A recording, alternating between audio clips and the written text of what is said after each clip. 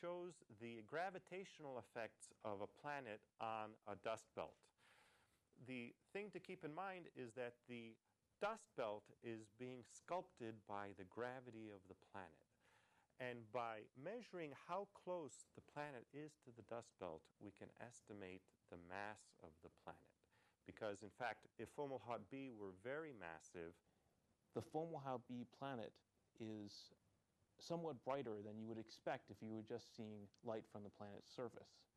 And um, that suggests that perhaps the planet is orbited by a ring of material which is also scattering light towards the viewer.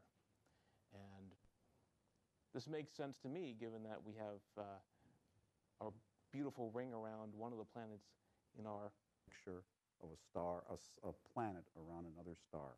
Comparison between our system, uh, our solar system, and the Fomalhaut solar system. And if we can put the comparison slide up, that would be great.